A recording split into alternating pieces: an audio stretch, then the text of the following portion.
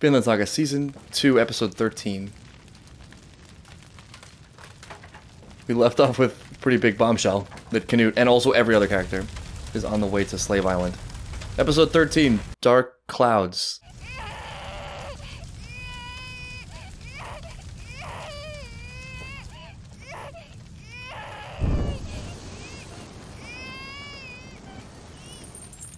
Uh, what is this? Who is this? The warrior tapestry burns symbolically.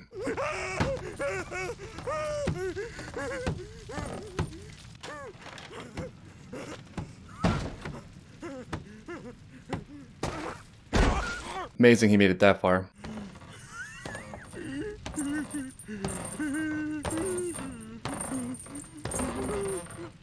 I don't think he's gonna make it. This guy has like super villain written all over him. 解放するオーディンに誓って金金もやる欲しいだけやるぞ Every shot of this guy, every detail. そんなものでは注げぬぞ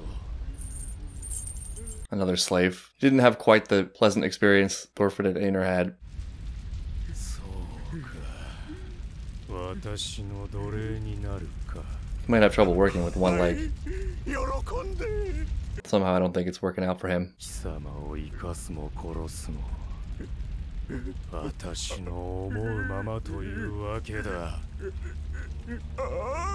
Yeah.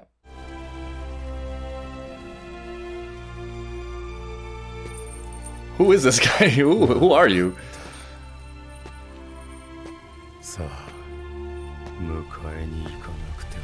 God help whoever is holding whatever woman he's talking about. This man is possessed. Why do I feel like this guy's story could have been a whole show? Oh, it's a new opening. Yeah, we're halfway through, right? Uh, It's a new character, right? I'm not crazy. Wasn't expecting a new character at this point. I don't know what to make of these these images, but this is awesome. Olmar, maybe Olmar finds God. Dude, this guy is something else. What an introduction, for real. Man, Thorfinn has his work cut out for him in this world. God bless. Thor's waving from the opposite shore. Whoa. That was amazing. I wonder what this effigy thing we keep seeing is. There is that lamb in Thorfinn's dream, right? Lots of sacrificial images. Also curious about the butterflies. This opening is honestly phenomenal. It's so good. The first half of season one's opening was great, but something really magical about this one as well. Also crazy to think that in all this chaos, Thorfinn is kind of the voice of こうやって reason, スベルゲルさんに馬を借りに行くこともなくなるな though he's still super untested. 自由になったらだよどうするつもりだああそれなお前たち自由身分になったらこのままわしのところで uh, yeah, I was thinking. Honestly, I wouldn't be surprised. I wouldn't even think it was so terrible if either one of them chose to stay here. I don't think it's their destiny, right? Especially not Thorfinn's destiny. And in that sense, the negative would be hiding from that, hiding from the world. That being said, it's not that bad here. It's Vinland Saga, so it could be a hell of a lot worse. But then again, life here is not going to last long.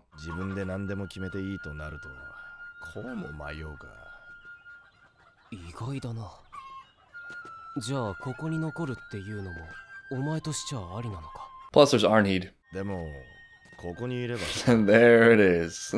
そのうちアルネイズさんを解放す Honestly, るチャンスが it's 来る relatable. かもしれないそこまで惚れてたのかよせよそんなんじゃない I know you should get out of the world and just meet other women. There's a lot of them. He's just been stuck here forever.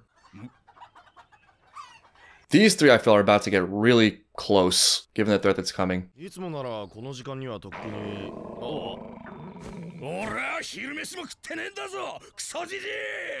俺を死なせる気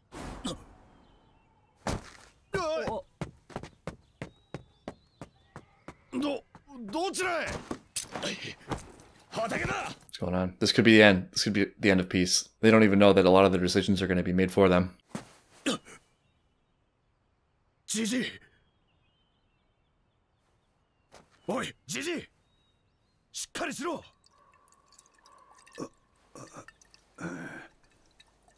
He's alive. Knowing him, he might want to go back to work.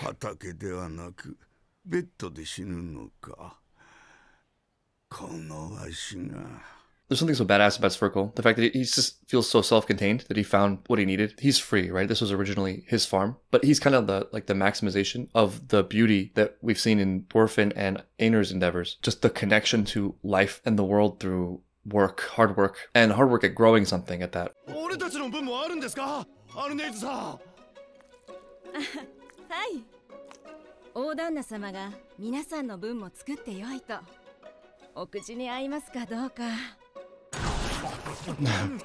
it's the first time with food.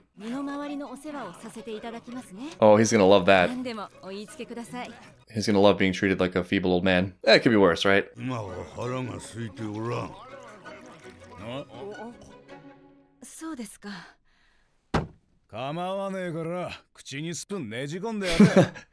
They're such a great pairing. Yeah, obviously. He's got his pride.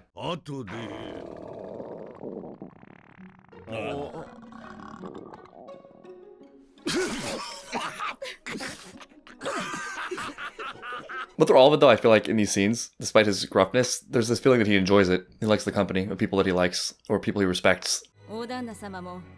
He's still got a lot of spirit. He's alright. He's really not. Yeah, it's just kind of a gruff exterior. But he's solid. He's just kind of like no BS grandpa, but he's got his wisdom. Yeah, probably because Ketil's gone. Yeah. Maybe because Ketil's gone. We can just chill in the house. And because we have food. Oh, enjoy it, guys. enjoy it, please. Thorfinn has a gut sense something's coming.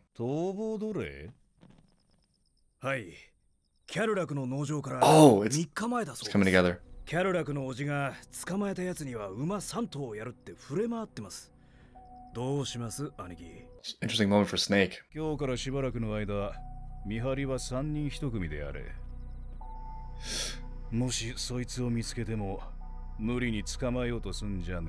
This is such interesting setup because we know this big military threat is coming, way more than Snake's force can handle. Now we have this escaped Jesus slave on the way, and there was something very, very villainous about his appearance, his entrance. Then again, it didn't feel like just cruelty; it felt like wrath based on his experiences. That was rage that was built over a long period of injustices. One thing I know for a fact in a very limited way compared to this is that your environment can become in your mind the whole world. Like, if you live in a bubble and you experience one thing or one set of things for long enough, you over extrapolate, project that into all of humanity, all of reality, and you think those are the values of the world. Even if you live freely, even if you live in a way where you can encounter many different things, since we all basically live in some sort of a routine way or in some kind of bubble, and because the people we interact with regularly have to in some way be connected enough to us that we can relate and have relationships, we underestimate the extent to which our world and the reflections we see of the world are limited. I would guess that for almost everyone, the the worldview we have of what the world is is perhaps largely a reflection of what we are and what we've experienced so far, as opposed to the actual full truth, which is so large it's hard to fully understand. I say that to say that that's his world. He's chosen violence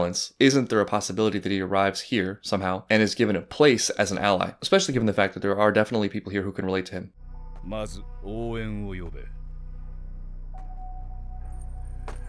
追い詰められた人間ってのは Right, right. Cornered is a good word for it. 何をするかわからんからな He's also been stabbed. He's walking through the earth like some kind of phantom. I mean, if he's coming here, he came to the right place, maybe. Depending on what happens. It's been shown clearly that Snake doesn't care about slave or not slave. Neither does Sverkel. Thorfinn Einar, obviously, will not be hostile to him based on that point. Ketil himself has his flaws, but he's not unkind to slaves. Miro, Could be a trap. 捕まえたやつに馬3頭っていうおお間違いねえよおい They are just not stealthy at all. 手が回ってきたぜ I see they went to the Avatar school of sneaking around. 応援なんか呼んだら分け前が減るだろうが I don't think he's in the in the thing. I don't think he's in the pouch or the hood. そういう話をしてんだよんなうまくいくかボケここへ行って I actually, I can't believe I'm saying this. くやいいだろ I feel bad for this guy having to deal with these two. This is wow, wow. I've never seen cover blown so badly in my life. I guess it wasn't a trap and it didn't need to be. Couldn't have happened to nicer guys.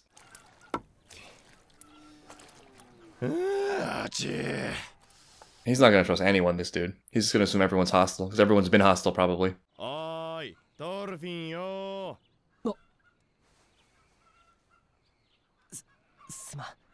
とだけ Thorfinn's entered his philosophy stage of life, just getting lost in thought. ヘビさんが聖書を中で読んでるんですそれの盗み聞き大旦那様は字が読めないから Thorfinn's just mind is awakening.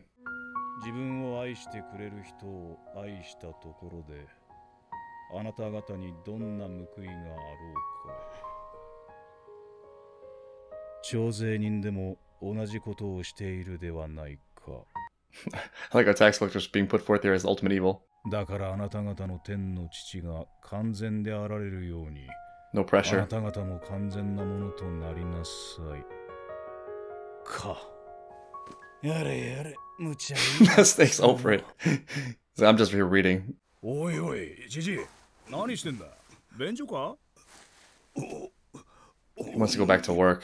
This man is committed. アルネイズ じじいが漏らした頼むはい。 It's not looking too great. It's amazing and a testament to the show, I think, that a scene in which people are reading the Bible can be riveting.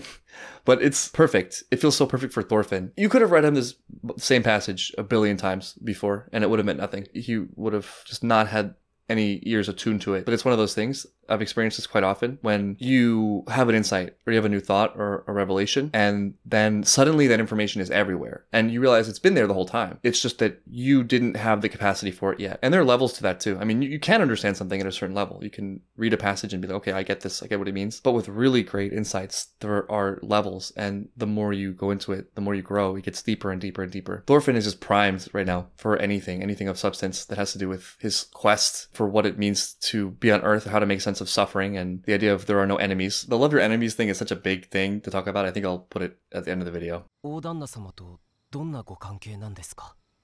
Yeah, they, they were really ah, close. Weird how they, they become like a little family. Even maybe even more than Sverkel and Ketil. I don't think his motivations are really that mercenary. I saw the way he panicked when Sverkel didn't show up for dinner.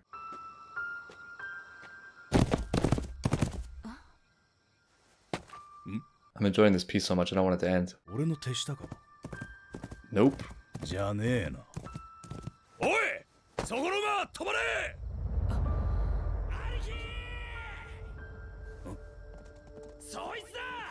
Uh, two of them survived. What a relief. Oh! Oh, they- Oh, it's her! This is a whole, whole big monkey wrench. Every shot of this guy is just amazing. looks like a legend. He's just born a legend. You tell the author loves him. Oh, sorry, Einar. That's what I call a sticky situation. I need to be pulled in three directions. I was expecting a lot of things to befall this land this episode, but a love triangle wasn't one of them. This at least sounds a little bit more uplifting than time and time again my hope is gone. War is coming, but so is Leaf. Honestly, who would have thought? Who would have thought watching Vinland Saga season one that it would become this heartfelt, that it was prologue to something this beautiful, that I would be enjoying the slice of life moments. You know, their little moments of peace on the farm where they're chopping wood together and just talking about life, reading the Bible. I honestly never would have guessed, but I'm grateful for it. I really wasn't expecting the entrance of this character, but wow, what an introduction. He just oozes cool out of every pore. He's super violent, which is against some of the themes we've been building in the show, but at the same time, I don't want to be too quick to judge him and his character and his motivations because we don't know what he's been through, or we can guess what he's been through, and it's terrible. And then he does all this and breaks out to rescue his wife, which is pretty amazing. And the whole time he looks like Viking Jesus. Einar's got a lot of competition. Wonder how Arnheid feels about this. There's definitely a story there. Probably captured together and sold separately, but who knows how much time has passed and what, what that means, what that changes. I also love that even without that much dialogue, we can feel how much Thorfinn is changing. He feels happier, he feels gentle, he feels open in a state of spiritual expansion. And it's such a great touch having this kind of odd crew, you know, Snake, Sverkel, Einar, Thorfinn, Arnheid, find something like a home on this farm where they all have just enough in common. They have something in common that makes their interactions, makes their living together pleasant. I can't specify exactly what that thing is, but there's this common element of just this decency that they have on some level, despite their idiosyncrasies, their foibles, their histories. I guess they each have been through enough or have found meaning enough in their pursuits that a lot of the superficialities, pettiness are stripped away. And so their labels, their status, and their differences are kind of just superfluous to what they actually are and what they enjoy, which just seems to be each other's company and food. They found a pocket for themselves in a world where this feels kind of rare. Sverkel feels to me like the patriarch of that. And in, many ways, there's more of a bond here, more of a family bond than there is with his own kids and grandkids. And I think actually that's connected to the idea that they were exploring in the Bible of loving your enemies. I mean, this idea is so big. There are just infinite things you could say about this idea. First is the idea that to love your enemy is to love yourself. To know your enemy is to love yourself. The reason for that is there are just certain functions of humanity that we all share. What differs is not the, the base, the core, but rather the set of circumstances that we were dropped into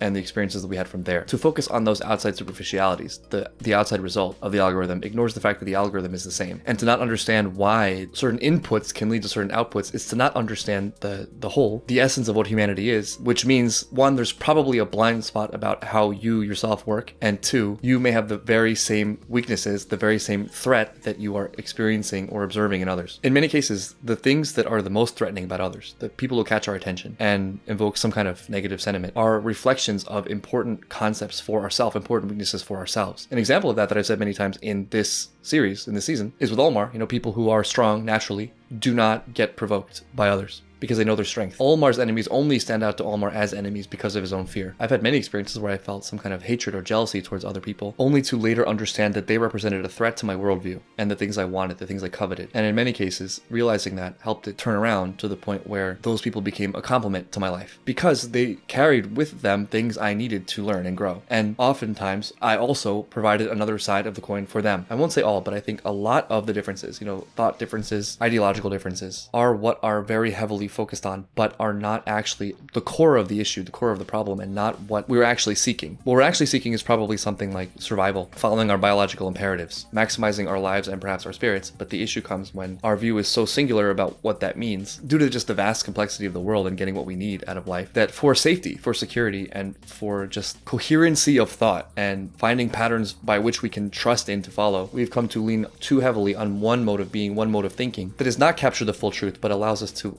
without this great uncertainty or the great chaos of all that could be and all that is. But nobody's an enemy in that struggle because it's all the same struggle. I think one of the challenges of being a, a biological creature is that there are two games happening at once. There's the immediate survival game, which is important. You know, that's that's God given, that's nature given. It's not nothing. It's not something to be totally ignored. We are animals. Life is important. Our survival is important. Protecting those around us is important. But then there's the other level of that, which is what is good for survival now, the short term, does not necessarily mean what's good for survival long term. I think that's where a lot of higher level human values come in. The purpose is to question the strength of the immediate biological survival in favor of the more long term, more abstract, greater potential of humanity. So that means ignoring short term gain, short term survival, short term pleasure for cultivating values that lead to that for the most people possible, which actually, if you think about it, is the best way to ensure individual survival. The two are connected. For example, selfishness. Selfishness is a powerful tool. If there is a group of people who is trying to divide scarce resources and one person has the initiative to just take those resources, then that person might actually do great, might do better, might be more prosperous in life. What happens though is that that then corrupts the rest. And now it is not advantageous to be charitable, be generous, to share with others. And so it devolves into selfishness for everyone. And that's when you have a collapse. You have no growth, you have no systemic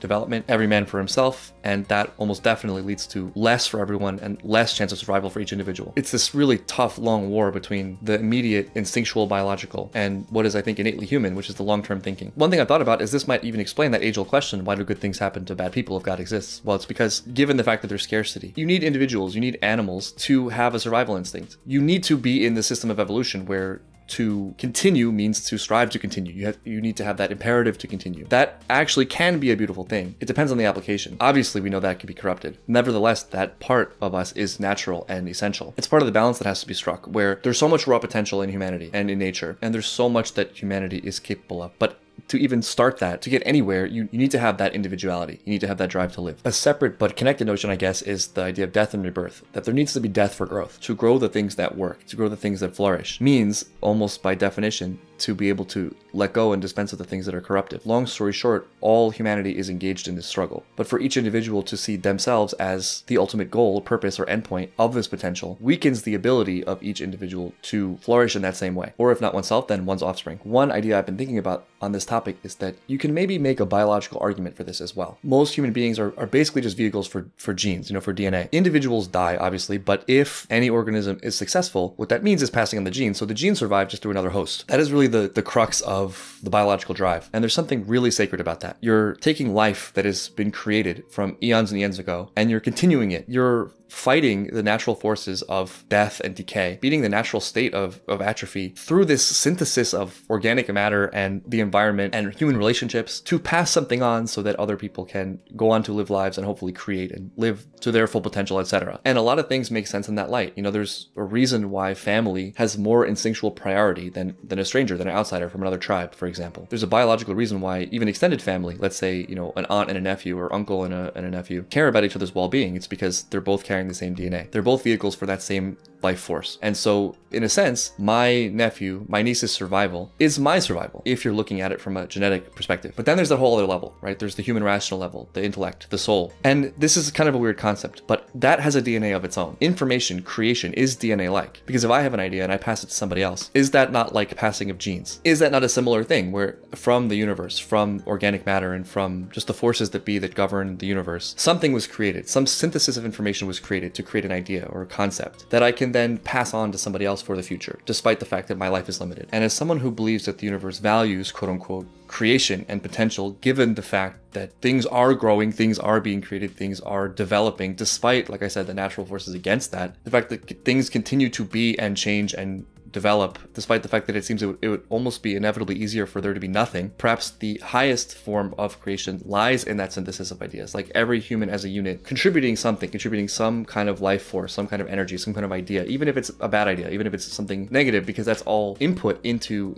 this growing collective understanding of the world and truth and progress, whether it be technological or, or philosophical or what have you, that that almost has to be something divine and God given. And to focus solely on the, the individual and the life or death of someone and the perpetuation of DNA misses that whole other realm where we're all connected by a common DNA, which is the DNA of this, for lack of a better word, growth, a sort of collective consciousness that forms a whole. And I guess it's not that one is more important or bigger than the other, it's that there's a way in which the two can be harmonious. The higher the concept of shared humanity and shared vision, the greater the chance for the individual as well. Neither the biological nor the spiritual or any other elements are bad, unless they're used for the type of destruction that is wasteful and detracts from that growth. That is negative that slips into the, the opposing forces of what I'm talking about, which would be decay, premature death, atrophy, moving backwards on whatever scale this is. And that's the connection, I think, to being perfect like me, being like God. Because let's just take God as truth, God as what is, which almost certainly has to be good. Because, I mean, what is good otherwise? How do you even have a scale of good and bad if there isn't some kind of metric, broader metric on which to base it on? When you love your enemy, when you act in accordance with this kind of development and growth, this confluence of the, the biological need with the spiritual need, with this higher level understanding of the connection. That seems to be in greatest alignment with the infrastructure into which we were born and in which we play a vital part. To quote Attack on Titan, do you know who the real enemy is? The answer, of course, is the enemy is is you. But at the same time, the enemy isn't you. It's no one. If there is an enemy, it's in yourself. It's the fact that all people have this potential and are connected in this way, yet have the capacity for this evil as an offshoot, as sort of a side effect of the survival mechanism that is essential for for carrying on this very thing. And that system is perhaps the best one that could be because I mean it is, right? And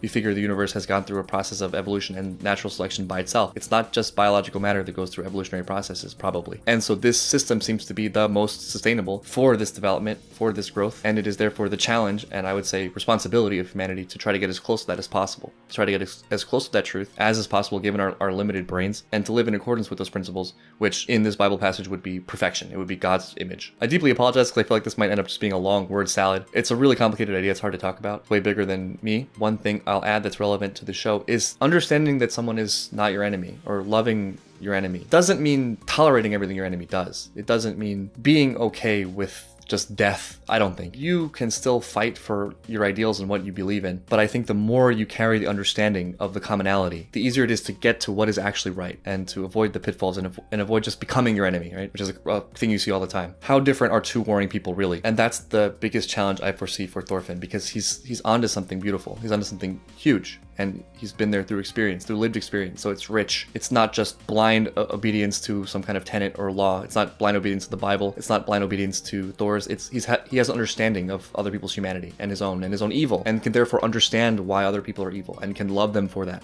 despite not loving the evil itself. But then there's very real threats. There is still evil. There are people who are out for destruction, who are on that negative side of that selfish spectrum. So how does he combat it? How does he stand for justice while balancing that deep understanding he has of other people? That state, I think, is like the most heroic state. I started season one by referring to the Thors as Jesus, and I think that's no accident. I mean, that's the level it takes. It takes that level of transcendence to be able to uphold your values, stand up for what you believe in, while loving your enemies, while loving all people, and doing only good.